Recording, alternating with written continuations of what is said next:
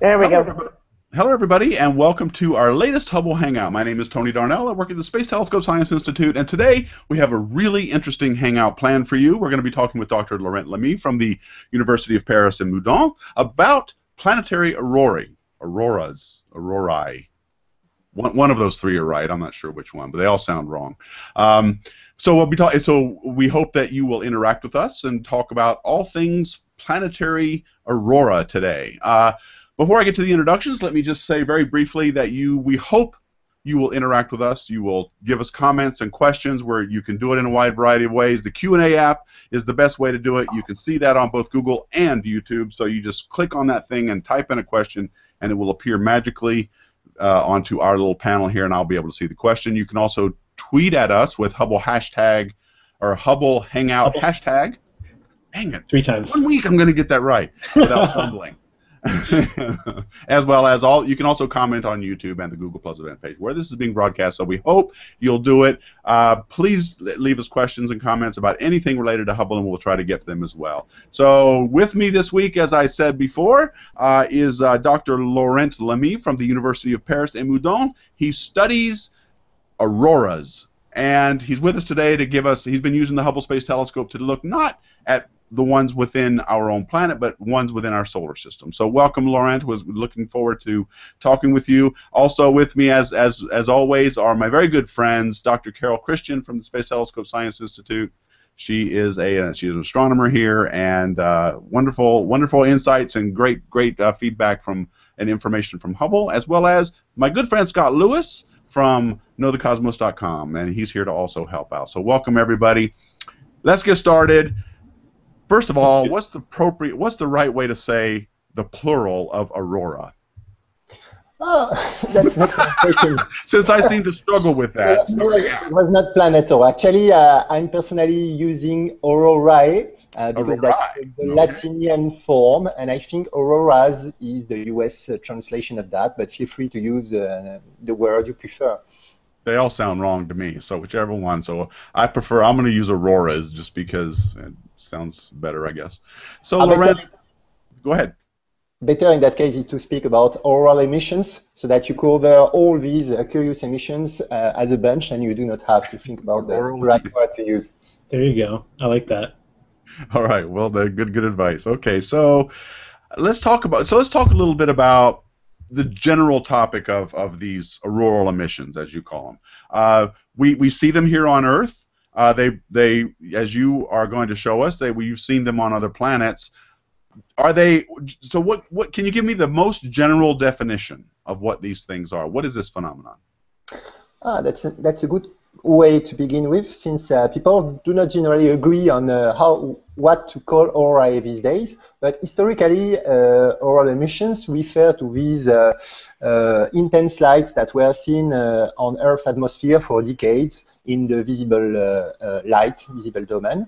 So um, this remained then as um, I mean these categories of luminous emissions from the atmosphere, and then with the, the study of the other planets and, and I mean the study of auroral processes from space, we discovered aurorae also above the atmosphere, and so now we are more generally speaking about auroral emissions, uh, which consists actually in a series of uh, different uh, emission processes. So both in the atmosphere and uh, above the atmosphere in the surrounding env- environment of the magnetized planets.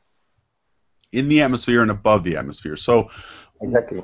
So what but that doesn't that is- I still don't get it. What are they wh- what is causing these emissions? Is it is it different depending on the planet? Is that why we can't get more specific than that or Uh, we could say that we have uh, the same series of uh, uh, production processes which exist at all planets, but the species which are excited, the atmospheric species in particular, uh, may be different.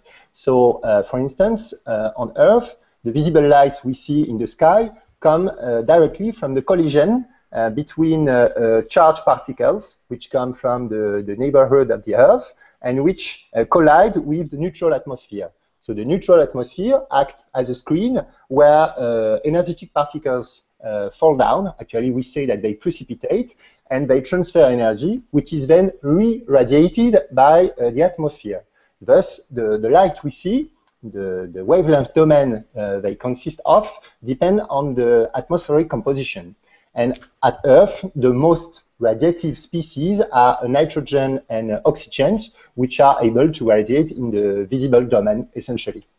And so, so staying with, I, I have a question. So do you need, in, on every planet in the solar system, do you need a magnetic field to get those charged particles, or can you have aurora without magnetic fields?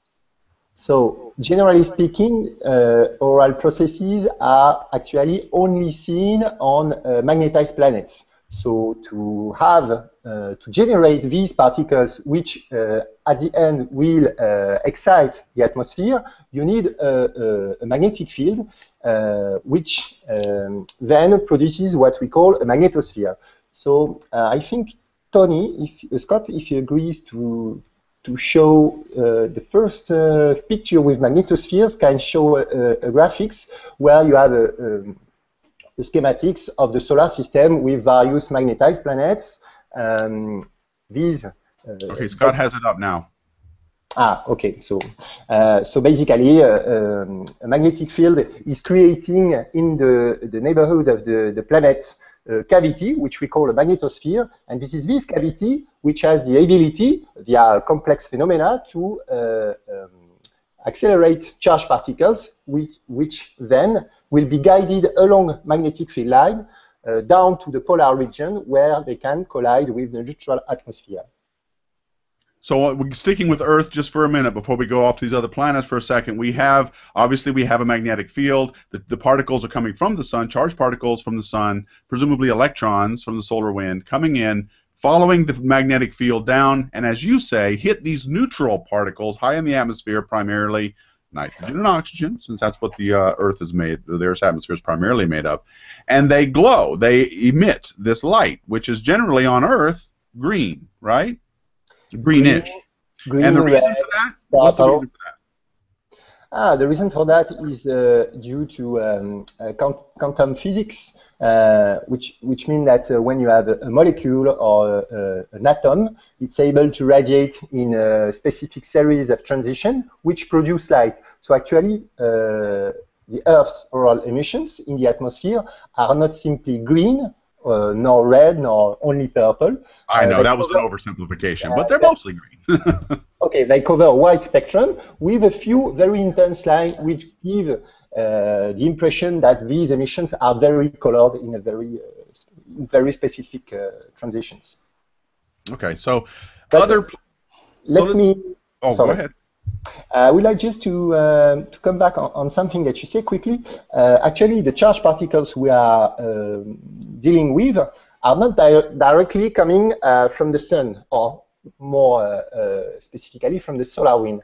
Actually, this cavity, which is produced by a magnetic field, a planetary magnetic field, is uh, at first order deviating the solar wind on the edges of that cavity. So that uh, at first order, this is uh, plasma proof, we may say. The, the particles of the solar wind cannot penetrate into the magnetosphere. So those charged particles, under some complex phenomena, uh, may be able to enter in some way uh, because uh, this is not always plasma proof, but uh, these particles, before to produce aurora, have to be sort of uh, uh, reprocessed by the magnetosphere, which will uh, accelerate them, transfer energy to them before they will be able to, to emit auroras. So the link between solar wind and the lights we see in the atmosphere is not direct.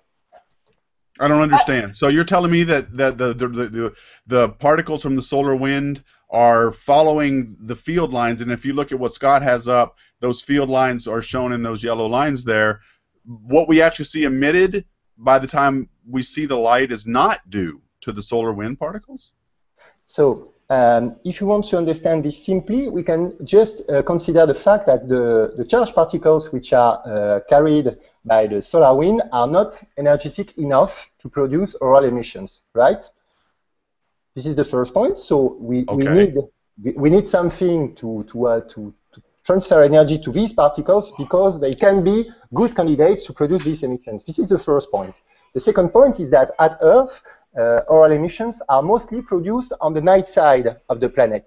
So the night side means that you are not facing the sun. So there cannot be a direct link between these particles which are coming from the sun and the, the, these powerful emissions which are seen on the night side of the planet. So I was simply uh, saying that these particles which are arriving with the, which are transported by solar wind um, are not directly responsible for the emissions we see. They need first to enter into the magnetosphere under some complex uh, conditions, and then to be reprocessed, to be warmed, to be accelerated, before they can then give rise to uh, auroral emissions on the night side of the planet. Got it. Okay. So the key word where was was accelerated. It seems to me like you need to get these particles more energy than what they would have out in uh, before. The, I get it now. Okay. Uh, but I'm. I, are you sure they don't happen during the day because and we just can't see them, or they really don't happen during the day? Uh, the situation is always uh, less simplistic than that we are trying to explain. So uh, I was referring to intense uh, which are seen on the night side of the Earth. Of course, uh, there are aurorae all around uh, both magnetic poles, and so that's why we are speaking about polar aurorae and not simply uh, borealis, uh, aurorae borealis, because borealis just refers to the northern hemisphere, and there are also aurorae in the southern hemisphere, so australis uh, aurorae. Okay. Uh, and so there are aurorae all around these, uh, um, these uh, magnetic poles, forming what we call auroral ovals. But the ovals, the auroral ovals themselves, which are centered on magnetic poles, are more intense on the night side. So you have a faint aurorae on the, on the day side, the issue is that as these emissions are very faint, uh, we are generally not able to see them because the contrast is too faint on the on the day side to catch them in the sky. Okay, Carol, I think I cut you off when you were trying to say something. Did you want to uh, put add to this? No, no, no, no. Uh, Laurent explained it that the the solar wind particles can then interact with stuff in the magnetosphere, which then can cascade and and interact with the atmosphere. So there can be a transition zone um, and acceleration was one of the keys, is that they have to accelerate to, and the magnetic field helps with that. Okay, well, I, I think uh, I think we've established what these things are in a general sense. Laurent, let me ask you this now: What is your what what got you into this? What is your research interest in uh, in, in, in studying these things on uh, other planets? What got you going on this? So uh, my purpose of interest is to try to uh, take advantage, take benefit of these auroral emissions, which can be sensed remotely by uh, telescopes, as Hubble, for instance, uh, to uh, diagnose, to study uh, planetary magnetospheres. Because generally speaking, a magnetic field cannot be studied over than in situ with special measurements uh, that can be done with uh, spacecraft uh, exploring the various planets of the solar system. But when we do not have the possibility to send spacecraft around a magnetized planet, um, auroral emissions remain a useful and powerful tool to investigate remotely the physics of uh, this magnetosphere. So my purpose is to try to, uh, to take advantage of these emissions, to, uh, to take all the information that they carried on and then to uh, explain the, the, the, physics of the magnetosphere they are able to, to, uh, to diagnose. And, you, and you're primarily, and you've been using the Hubble Space Telescope for a lot of this, correct? Yes, that's correct, because uh, as for the outer planets, so uh, the planets beyond the orbit of the Earth, uh, the composition of the atmosphere is, uh, uh, as for the giant planets, generally dominated by uh, hydrogenic species. So the atmosphere comp atmospheric composition is different from that from the Earth, and this atmospheric composition has the ability, has the capability to radiate in the UV window uh, that Hubble is particularly uh, able to, to look at. So Hubble is a, a, very powerful tool to look at the aurora of uh, other planets than the Earth. You know, you know, Carol. One of the things I'm noticing in these Hangouts lately is that an awful lot of people are using the UV capabilities of Hubble. Uh, you know, last few Hangouts we've had, we've we've talked about this. That's been a really important part of people using the Hubble. I guess I always looked at it as more of an infrared instrument, but you know, we have a lot of people using the UV as well. So yeah, and I think I think what started was, of course, because we have a lot of experience in ground-based astronomy, we started with kind of the visual. So we do a lot of the things that we know in the visual and then pushed into the infrared. But the UV capability and the fact that we got new instruments um, that that assisted with that capability has really been powerful. And when Hubble no longer is working, we have no other UV capability in space, and we can't get the UV on the ground. So right now, it is a why, why is that? resource. It's called money. on the ground, we can't see the UV very far into the UV. Yeah, that's what I was saying. because, I know, I know, I know. I was being facetious. Um, eh, on the ground, we can't see because the atmosphere happily blocks it so that we're not all fried. It is a good thing. Um, I'm glad you mentioned It's a good thing. The visual comes through a little bit of the infrared in certain places, but the water vapor helps block the infrared and some of the radio as well. Um, so we need telescopes in space, and Hubble right now is the one that has UV capability. It may be that after 2020 there might be another telescope proposed to NASA that will have some UV capability, but you're right, the people are really looking to the UV to use Hubble in the UV um, because you need to know a lot of these phenomena that you can't see in the visible or the infrared. So it is an important aspect. Yeah, it's an important wavelength. One that I'm just now starting to appreciate with Hubble because of the recent hangouts we've had. Not to mention this one, and as well as the the uh, ultra deep field, which just added UV as well. So okay, so well, you. I had sorry to interrupt. No. I had two. I had two two questions. One is when did astronomers first realize that the other planets had a is this one of these things we always knew but we didn't you know or we didn't suspect it or we just didn't ever observe it or or when did the, this interest in other planet aurora start and the second question is do the colors on other planets tell you anything about the composition so as for the first question, uh, we uh, um, spoke um, since the beginning of that hangout about uh, visible emission uh, in the atmosphere, starting with the Earth. Actually, there are also uh, auroral emissions which are produced above the atmosphere. We quickly mentioned them at the beginning, uh, which are actually radio emission. So atmospheric emissions are produced by, we said, precipitating charged particles, essentially electrons. And these electrons, when guided by magnetic field line down to the atmosphere, have the possibility to, uh, to, to drive a resonance instability to produce radio waves. So radio emissions are also of auroral nature, and they are found uh, around all magnetized planets of the solar system. So back to your question, the first time we, we found aurora on another planet than Earth was thanks to uh, radio observations from the ground with radio telescopes uh, based in the US and uh, discovering the uh, decametric emission of Jupiter. And actually, this was the first proof that Jupiter possesses a magnetic, an internal magnetic field. And then, uh, um, with the space exploration, uh, thanks to the Voyager uh, spacecraft, which explored the four giant planets in the, the, in the 80s, mainly 70s, 80s, uh, we had the possibility to look in situ with small telescopes on board the Voyager spacecraft, and in particular a UV spectrometer, which was able to identify auroral emissions at all these planets, so Jupiter, Saturn uh, in order, Uranus, and Neptune. Uh, Laurent, before you go any further, I just want to interrupt real quick. Say Scott's got a pretty picture up, so that we can emphasize that. what are we looking at here? So this picture is a, a sort of a collage of UV uh, observations acquired by the Hubble Space Telescope uh, for the three uh, giant systems, which are the, those of Jupiter, Saturn, and Uranus, and showing basically the, the emissions which can be seen in the UV window. So on these um, on these uh, figures, uh, you show the planets and sometimes the satellite that have been caught uh, by by the by HST um, as well.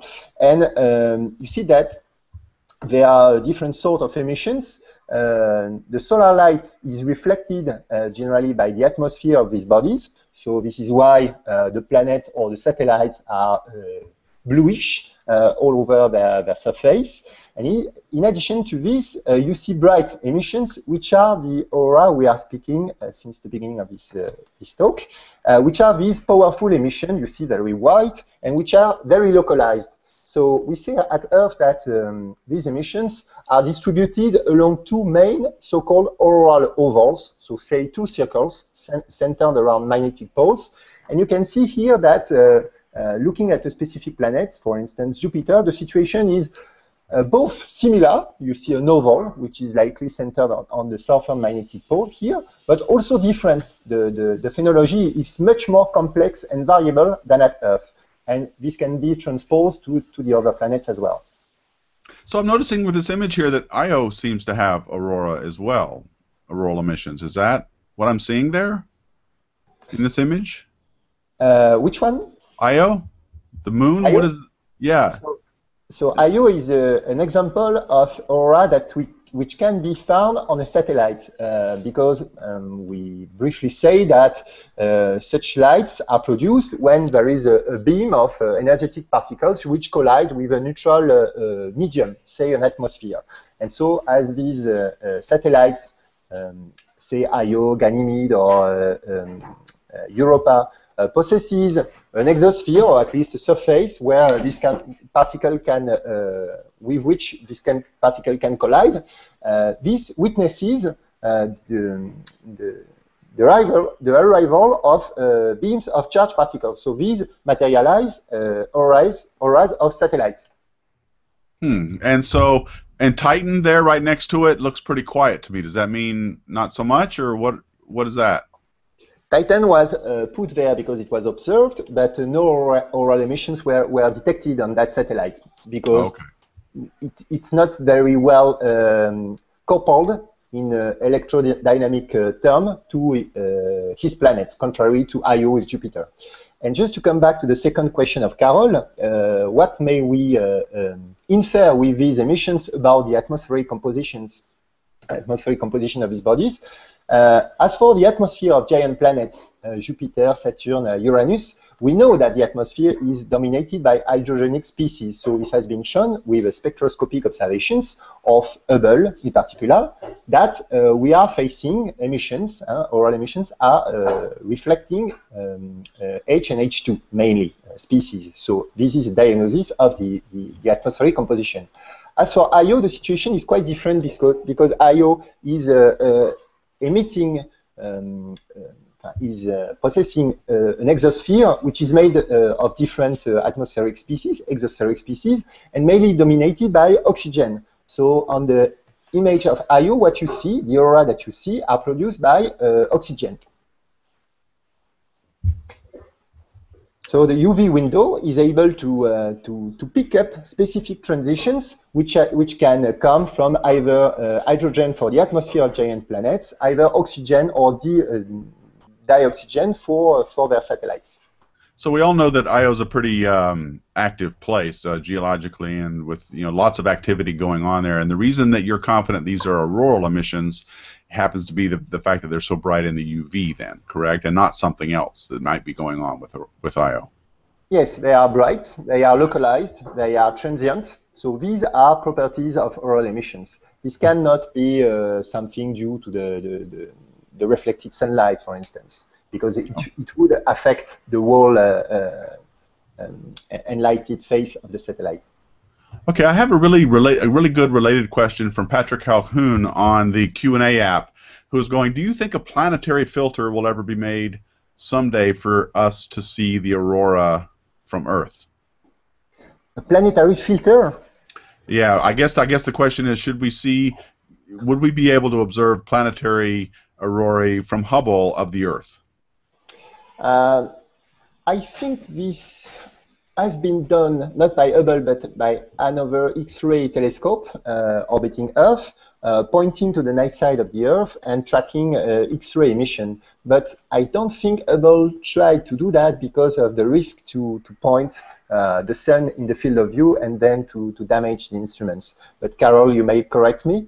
No, that's right. We can't point at the Earth, and in fact, when Hubble goes or as Hubble goes around the Earth, we have to make sure we're not pointing towards it because it's too bright, and so we can't make any observations um, of the Earth. Um, I think there are also there may have been some Earth-looking, you know, like Landsat and um, GeoEye and some of those Earth-looking satellites. Certainly, the astronauts uh, saw aurora from yeah, the space shuttle, and they they took lots of pictures. So Yeah, that that's a better platform for. it's a great platform. Yeah, the, Yeah, the uh, issue with Hubble is really the sensitivity and the, the size of the telescope, the primary mirror that uh, the STSCI team does not want to to damage. And you're right that uh, many spacecraft have taken uh, uh, images of the Earth's aurora from space, and so imaging both uh, auroras on the day side and on the night side.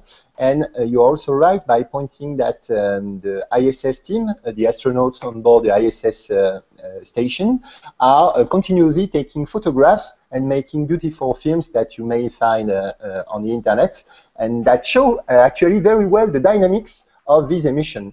When we are on the on the on the Earth, we can look at uh, these emissions uh, from very uh, uh, far, actually, and that's the same situation for a telescope which is uh, orbiting the Earth very far. But with the ISS station, uh, the auroras are seen by the edge, actually. So the level of details is really impressive. yeah, it's a good question. And uh, the Here's way I like a to, web page too for those that want to see the aurora from space. Um, it's for the Gateway to Astronaut Photography of Earth, and it's where I use Oh, uh, nice. when I've made some of my compilation videos. I use a lot of the source material here, which are from the time lapse photography that are done by the astronauts from the International Space Station. Uh, I, I'll put it into the Google Plus event and I'll tweet it out there. But for those, and actually I'll put in a comment on YouTube too. But it's EOL jsc.nasa.gov, and you're you're able to go through and actually get all the full resolution images if you want them, or also see them in a movie file for the time lapse. the ISS is probably one of the best spots to try and see some of these activities. So that's that's good. Thanks, Scott. Yeah. Okay, so we've we've basically what I want to know though, uh, Laurent, is okay. So you've been looking at these observe the, uh, these uh, um, aurorae from all different planets and using the Hubble. You've gotten some, gotten some good data. Uh, what have been the greatest? What's been your biggest surprise uh, in observing? Has there been a planet that was unusually more active than you thought, brighter than you thought? Do you have? Is anything really really surprised you in your research? You mean myself or the community in general? What were the main? I uh, guess both. I guess both. So I mean, I, I, looking at these aurorae, what were you what were you expecting versus what did you find? Uh, if we take the case of Jupiter, for instance, uh, so Scott, maybe you may may display the the composite figure of Jupiter made made of um, Hubble images taken in the UV and in the visible range. You see uh, these uh, two uh, um, uh, ovals uh, centered around magnetic poles, right? He has it up now. Okay, and when the UV observers uh, look at these images first, they identified um, that strange uh, spot that you see uh, both in the northern and in the southern hemisphere. Do you see it? It's a equatorward of the main oval. It's a bright Mhm. spot with sort of a wake, right? Yeah, right right below this. Yeah, it's on both sides, isn't it? On both poles. Yes. That's on both on both on both sides. And actually, uh, people then realized that uh, this was uh, this spot was related to the magnetic flux tube, which was connecting to the satellite Io. And so uh, that was a surprise. Wow. Let, let me say that again to make sure it was yeah, understood. Yeah, yeah, wow. So The this spot, magnetic flux tube. The, you said it was the magnetic flux tube associated with Io, right? exactly. And so uh, there are other spots uh, which may be seen on the following picture, if Scott can display it, uh, which are associated with other Galilean satellites um, at Jupiter. So uh, the fact that we get a spot at the footprint, so we call it a footprint of a magnetic field connected to a satellite, is uh, saying us something. And the most uh, enthusiastic uh, discovery was to realize that there was a sort of a coupling between the satellite and the planet, able to uh, accelerate particle enough to produce uh, such bright footprints at the foot of the field lines connecting uh, the satellite to, to the planet. So this was a, a major discovery actually. And when you look at uh, at uh, at this picture of Jupiter with the main oval and some specific uh, polar emission, you clearly see different spots which are materiali- materializing the different Galilean satellites of Jupiter. And, and which which is that? Scott doesn't have it up right now. I'm trying. I'm trying to. Yes, I see it. It says the main oval, and it has, yeah, Scott has it up, and it shows Oh. Io and um, Europa and Ganymede, Oh, and so is. there are little dots that that then connect the two the tube lines. So, so I mean, what Laurent is saying, if I can put words in his mouth, is that Jupiter is an amazing environment because the you know some of those satellites, those moons, have atmospheres as well, and and Jupiter really interacts with some of the main moons, um, its main moons, and so there's this communication that goes on between Jupiter and the moons through these magnetic field lines, and so they share this aurora phenomenon. Exactly. A, I'm sorry. Go ahead. Finish. Exactly, and uh, um, this connection is of electric nature because we have an exchange of uh, charged particles, so uh, this means currents. Uh, and just to finish with, if we take that picture of Jupiter, uh, if we now uh, exclude satellites, you see that you also have a main oval together with polar emissions, and altogether we can say that when we look at a specific at, at auroral emissions of a specific planet, each um, part of this complex uh, morphology says something to us uh, uh, in terms of magnetospheric physics. I mean, to produce this bright emission, you need to have an active region somewhere in the magnetosphere, and each uh, bright spot or ovals or transient uh, phenomena uh, refer to something happening transiently or not in the magnetosphere. Is there any relationship or connection between the, the size of the planet and the strength of these aurora? Like, does Jupiter have more powerful, more bright aurora than than uh, other smaller planets, or is that a is that related in any way? Uh, yes, Jupiter is the most powerful uh, auroral emitter of the solar system. Uh, these emissions that we see in these pictures are generally uh, two to three orders of magnitude more intense in terms of emitted power with respect to uh, uh, these of the Earth, for instance. Um, Saturn is only one order of magnitude brighter with respect to the Earth. But then, so what is the reason? What is the reason for this brightness? You will ask, right? Yep. Well, okay. Yep. I was going to go there. Okay, and uh, and we, to our current understanding, there are two main phenomena that trigger the, the strength of these auroral phenomena. The first is the, the interaction with the solar wind. The interaction between solar wind and the Earth's magnetic field is the primary uh, uh, uh generator for uh, Earth's aura. And Jupiter is the other extremal case. As Jupiter is not very sensitive to solar wind at all, it uh, possesses a very strong magnetic field, so it's not very sensitive to solar wind. And these bright emissions are essentially internally triggered by the rapid rotation of the planet.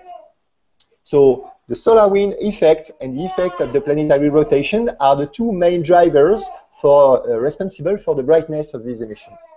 So if you had a small planet that rotated very fast and had a very bright or very strong magnetic field for whatever reason, you would get equally bright, uh, or at least very bright, auroral emissions from that situation. Exactly, exactly. And uh, we can we can quote the case of Mercury, which is, which has a very weak magnetic field, but which is located very close to the sun. And so there, the solar wind acts as the primary uh, driver for auroral emissions. And as Mercury is even weakly magnetized, it displays uh, auroral emissions as well. Oh, I didn't know that. Wow. Well, what about okay? So let's talk about that. Mars, for example, has, as far as I know, no magnetic field. Correct? It doesn't have much of a dynamo at all. Uh, no.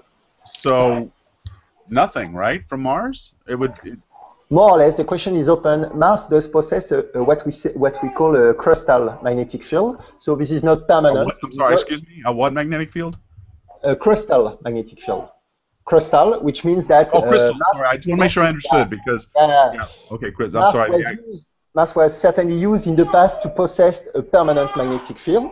Uh, like uh, those of the other planets, but it disappeared, and we only have uh, traces of, uh, of it now, uh, which is called a crustal magnetic field. And in the neighborhood of these traces of past magnetic field, there have been some attempts to, to to detect auroral emissions. This is not obvious at all. And then to finish with Venus, Venus okay. does, not, does not possess any magnetic field at all, so Venus does not possess, possess any uh, permanent magnetosphere nor uh, auroral emissions. So I'm still trying to get my head around the crystal magnetic field, but I, but there is something there that's causing some some uh, magnetic interaction in some way. I should point out that you have two small children in the background who are uh, no, it was just me. Oh, that, no, that's God. Yeah. I'm sorry. The yeah. internet's being mean to me today. Yeah, I'm sorry. yeah, Scott needs to. Okay. He's late for us here. yeah, that's true. It is exactly. Well, uh, okay. So, what um, the so you you you've you found that these uh, these satellite interactions were a surprise. These were something you didn't expect to see uh, when you began your research. Is there? What's the future? Where are you going to head for here? What's uh, what's in store for you next? So um, these satellites were an example of what surprised uh, not, not, only me but the community. Um, right. Most recently, I've worked uh, with Hubble, thanks to Hubble, on uh, the Uranus magnetosphere, which was very intriguing because uh, uh, Uranus auroral, auroral emissions and magnetosphere could only be uh, investigated once during the flyby of the planet by the Voyager 2 spacecraft in 1986. So we could study that magnetosphere and auroral processes only with a few hours of measurements uh, acquired by Voyager 2 along its trajectory. But then we knew that uh, Uranus was uh, magnetized and displayed auroral emissions. And by uh, calculating the, the, theoretical brightness of these emissions, we found that it should be uh, uh, it should fit the, the minimum threshold detection threshold of HST. So we recently tried to uh, to catch these emissions again, and to do that instead of um, so this had been done uh, twice in two decades, as for Uranus, but always uh, with negative detections. And instead of observing randomly, this time we try to take benefit of a property we just mentioned, which is the interaction between solar wind and uh, the, the magnetic field of a planet. Because we mentioned this very briefly, but one property of the Earth, uh, Saturn, and so by extra extrapolating uh, this uh, to Uranus and Neptune, one property of this magnetosphere is to react to a, strong compression uh, of the solar wind reaching this planet. So at the Earth, this is called as the substorm phenomena, um, and which, which, gave rise to the space weather uh, discipline. Uh, when a compression arrives at Earth, the magnetosphere is compressed, and then there is some of, uh, acceleration processes that are forced because of that com compressed magnetosphere. And this gives rise to very uh, bright uh, auroras, right? And so uh, to try to catch Uranus auroras, we uh, uh, made the assumption that Uranus may react as, uh, as the Earth does. And so we observed during the path of a series of coronal mass ejection, which were propagating in the outer heliosphere along, the, along the planets until reaching Uranus. And then, thanks to Hubble, we could observe at the right place at the right time, and we got a, a detection, uh, a picture of which I, Scott may be able to show you. Right ahead of you. I'm right really glad you talked about this because I was going to ask about this of it of the cascading through the solar system and you being able to watch, you know, the mass ejection then comes to Earth and etc. So that's very interesting that you can kind of watch it propagate and then find a really faint signature. Yeah, so sure. Great. And, and, as far as I'm concerned, that was one of the most uh, uh, surprising results we got thanks to these uh, marvelous measurements. So coronal mass ejections are these magnetic eruptions from the sun. They're so they can be enormous, and they they go out uh, throughout the solar system with uh, uh, a lot of very uh, primarily electrons and and things going along with it. Uh, and when they hit these planets, then it looks like you can see the signatures of the as you said the compression of the atmosphere and these auroral emissions. Mm-hmm. Um, net can we talk about Neptune for a minute? I if I I may be screwing this up, but I remember I think when Voyager 2 went by, they were seeing these white bands on Neptune. Am I remembering correctly? And they were these. It was in the upper atmosphere of Neptune, and I was wondering if those were auroral uh, emissions or not. Uh, Voyager Neptune, Voyager 2 fly by Neptune in 1989, and as for the other planets, uh, its UV spectrometer looked carefully at the upper atmosphere of the planet and actually tentatively detected aurora. But they are very, very faint and close to the detection threshold. So even this uh, claimed detection is not uh, confirmed yet. So okay. what, we, what we did for Uranus could certainly be reapplied for ne Neptune, except that uh, Neptune is, is much farther from the Sun and uh, supposedly displays a fainter aurorae. So we are really at the limit of what uh, Hubble can do uh, with auroral emissions of the planets of the solar system. Okay, Charles Bell has got a couple of really good questions for us on the Q&A app. Let me start with his first one. Um, he, he's asking, have you studied the hydrogen coma via Lyman alpha emission from Venus using the SOHO SWAN images? SOHO SWAN, I'm not sure what that is. No, I didn't. Um, so what uh, this, uh, um, how, uh, how his name? Uh, Charles Bell?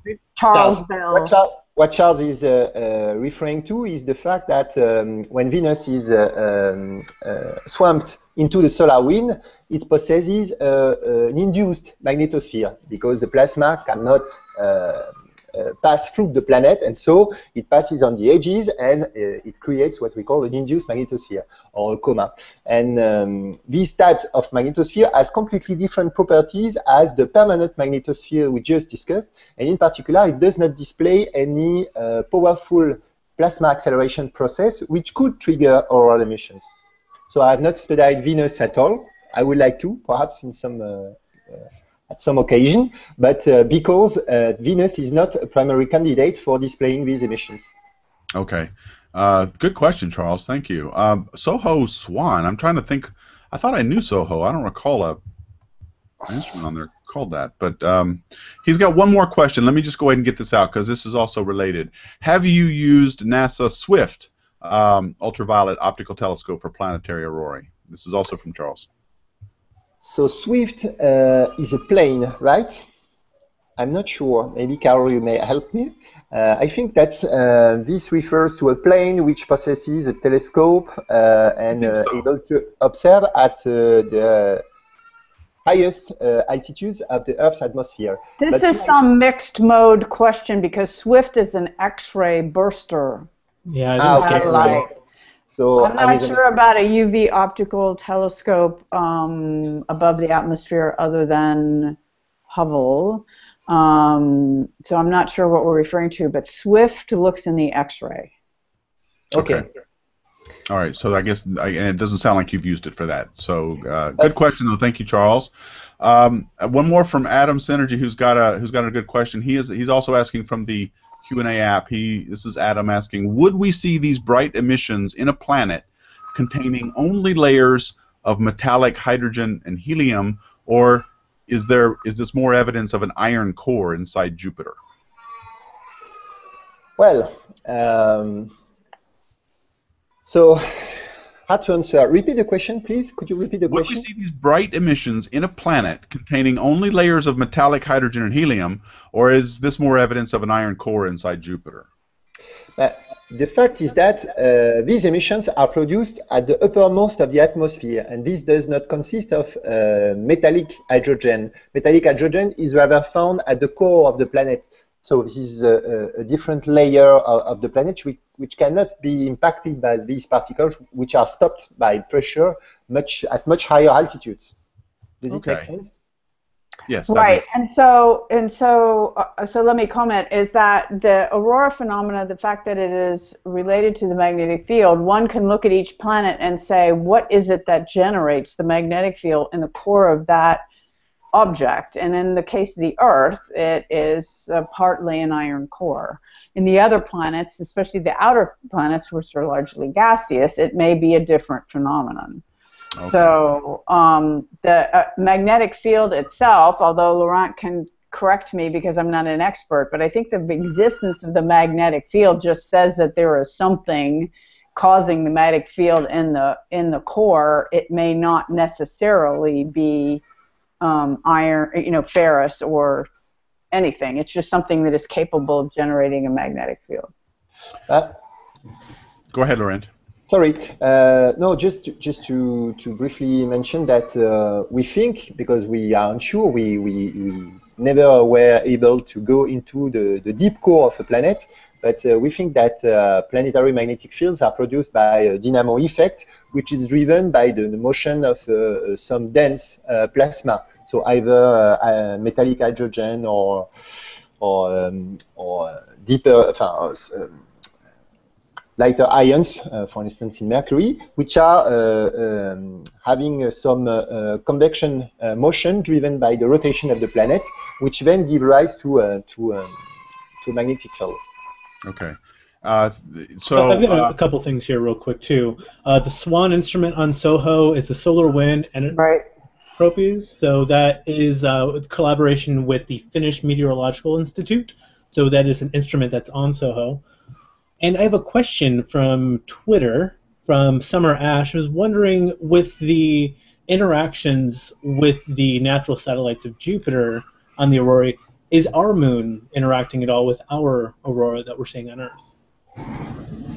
So actually, no, our moon is not interacting at all. Uh, I mean, electrodynamically speaking, with the Earth, because the, the condition for a satellite to uh, interact with the planet is first that the satellite um, moves uh, into the magnetosphere, so it sees permanently a magnetic field uh, passing in front uh, of, it, of it.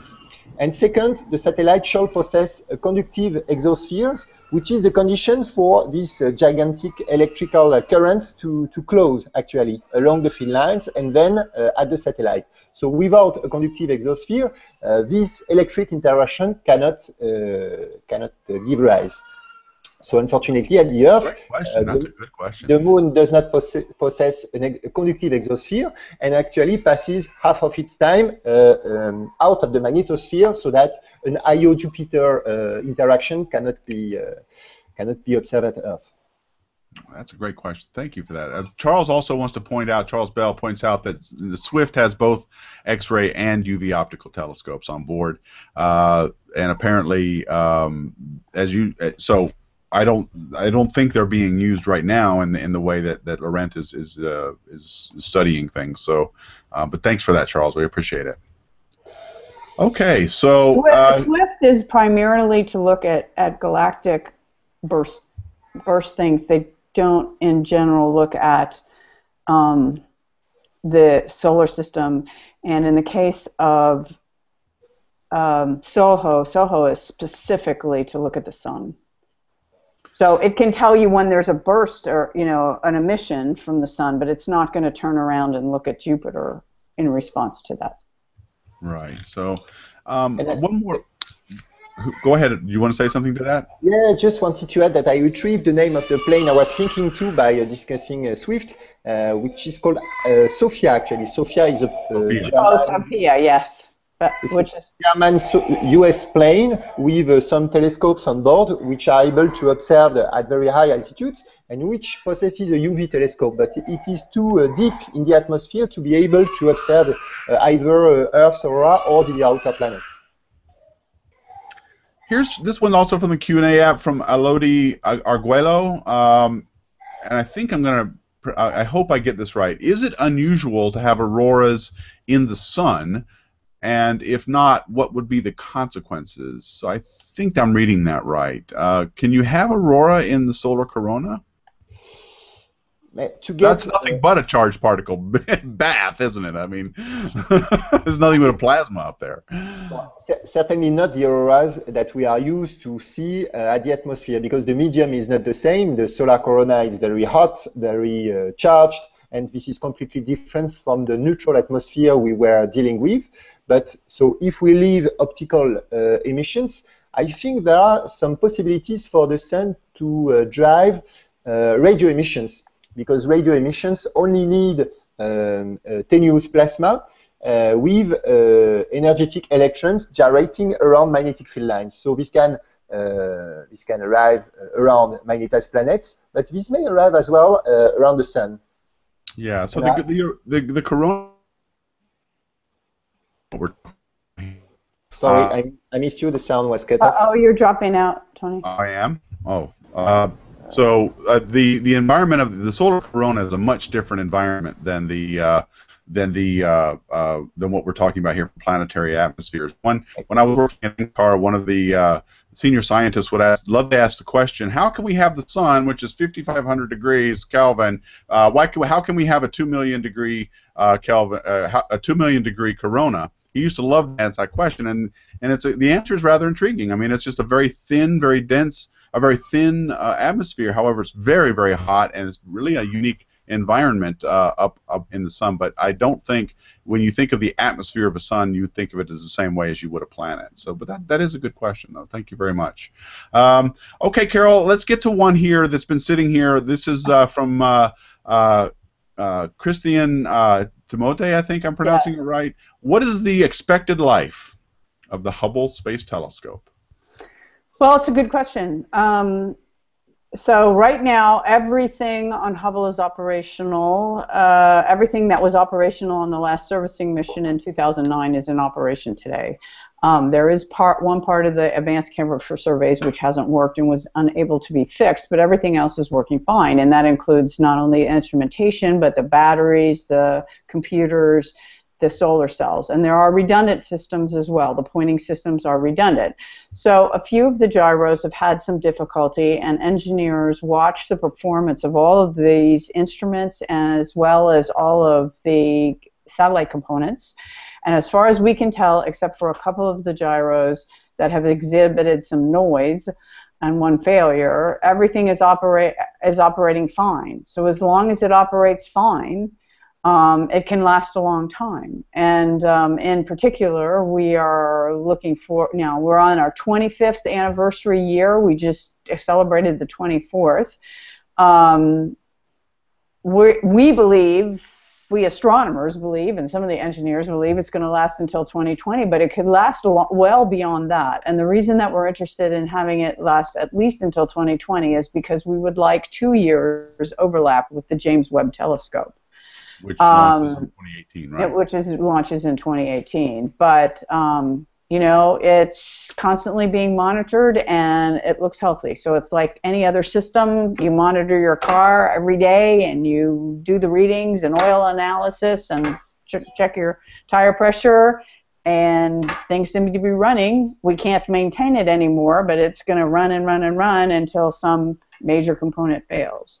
Yeah. Um, if everything goes really well, as Carol is, is, is, is outlining, all the stuff keeps working, then the limiting factor becomes – the orbit it's in. And I think, if I'm not mistaken, Carol, that is decide that will be decided sometime around 2028.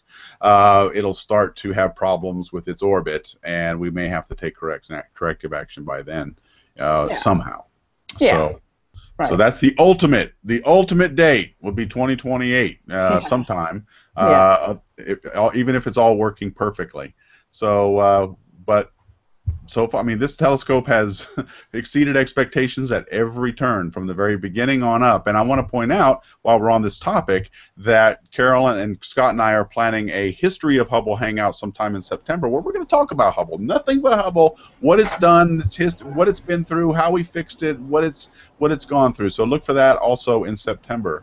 I was um, also going to comment that uh, it's interesting because the lifetime of Hubble is a little bit linked to what Laurent is talking about because with the emissions from the sun that can puff up the atmosphere of the Earth um, as well as produce aurora, and depending on how the atmosphere inflates or doesn't inflate, can produce drag. Um, if it puffs up enough, it produces drag on the telescope, which can then cause the orbit to decay. So the 2028, I think, is a conservative estimate of the the extension of the atmosphere and how much it will in, influence the orbit of Hubble. Excellent point. I mean, it doesn't it doesn't take into account all the variations that can happen with space weather and things like that. People forget that Hubble is, while it is in orbit, it's still kind of in the atmosphere of the Earth, so yeah. it is affected by that a little bit. Uh, and, and, Jacques Darremont, uh, that also answers your questions. How long uh, time remainder for the mission for Hubble. I think we pretty much uh, covered that part there. Uh, Scott, am I missing anything? Is it, I do have some from Twitter as well. Okay, uh, go. Where so in Twitter are you looking? They're not using Hubble Hangout. No, it's communicating back and forth with me now from a thread. So. Oh, you're in charge of. Uh, I'm driving the internet, Tony. You've known this you, for a while. I know that about. I know. I should know better. so it, it's actually follow-ups from Summer. I was wondering, is Callisto too far out to interact in that way with Jupiter? And also, are there any natural satellites interacting with Saturn's aurorae?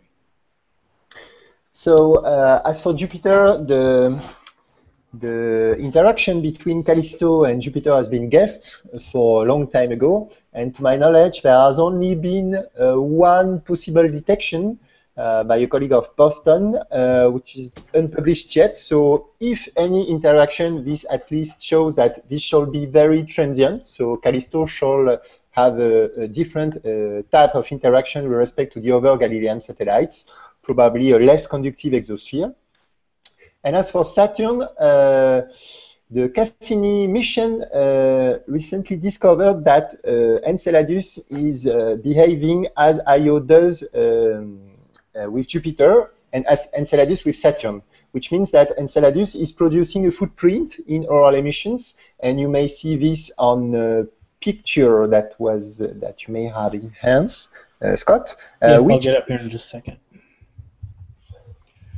which displays actually a picture of Saturn. We, we did not speak about Saturn yet. Uh, and you, you see there uh, these marvelous um, uh, pictures taken by Hubble, where you see the, the very variable nature of these auroral emissions. In particular, the, the bright one at the middle was produced by a solar wind compression reaching the, the planet. So this is an illustration. And on the following picture, uh, this is a figure that was taken by the Cassini UV spectroimager, and which reveals actually a spot uh, which is linked to, uh, no, not that one, spot uh, uh, which, which is linked to Enceladus exactly as, uh, as for Io. So, and the fact, the interest with Cassini, the, the, the main advantage of Cassini was that, was that we could, we were able to get in situ measurements and so, so that's uh, that picture. You see that uh, when the spacecraft was crossing the flux tube uh, relating Enceladus to to Saturn, it was able to to to acquire in situ measurements of plasma traveling along these field lines, and then remotely observe with a UV telescope the, the auroral context on the, the surface of on the atmosphere of the planet. And so with this set of measurements, we got these two informations, both remotely and in situ, and we could uh, diagnose the full uh, electric uh, current, which is coupling Enceladus to its uh, host planet. All right, great. Thank you. Uh, so we're running out of time, and I want to I want to thank uh, Laurent Lamy for uh, joining us uh, and talking about planetary aurora. He's from the Observatory of Paris in Meudon. Thank you, Laurent. I appreciate your time today. Yeah. Great. So before and before I go, I just want to I want to highlight one comment from YouTube um, that is uh, say this is from uh, George Lloyd who goes, "Hi Tony, Carol, and Scott. I'm a subscriber of Deep Astronomy Space Fan News and have just stumbled onto this channel. I was wondering how do I find out when other live hangouts happen." And the reason I wanted to highlight that is he goes, I never know when they're on and would maybe like to ask a question live. Well, Lloyd, the best way to find out is to is to you subscribe to this channel, which is your first step. You'll get that notification when it goes live. Uh, we all, if you also follow Hubble Telescope and Deep Astronomy and and Scientific Scott on Twitter, you'll be able to get what we are constantly uh, letting people know. And finally, yeah, I don't shut up. I'm always tweeting. Boy, I know. And so the uh, so that's that's another great way to find out about when we're having these. Also, Carol, uh, Scott, and I are being very you know we're working on a schedule that is that is uh, we're going to be doing these for the most part every single Thursday at 3 p.m. Eastern, which in the UK is 7 o'clock your time. So um, I so that's the the best way to find out and, when and these another are another thing I'll mention: if you Google Hubble Hangouts, you will find the web page that often has what the next topic is. Yes. Um, we might take a little vacation at the end of August, but um, mostly it'll be every Thursday at three, unless our guest absolutely cannot be with us at that time, and then we'll reschedule it. But we are Wait, trying to have them vacation? weekly. Uh, no, you are not. I Oh, didn't say okay. anything about you. That's right. So, okay. So uh, that's it for this week's folks. Um, next week we are we are going to be having a hangout with some of the people with the institute uh, on the process of decide. We're going to talk about how do you get to use Hubble. What's it like? What do you got to go through to get Hubble time? Laurent knows because he's had to go through it. Yes, Uh, successfully. to talk with members of the time allocation committee, and we're going to talk about how one goes about getting uh, Hubble time. How what how is it decided? What Hubble looks at.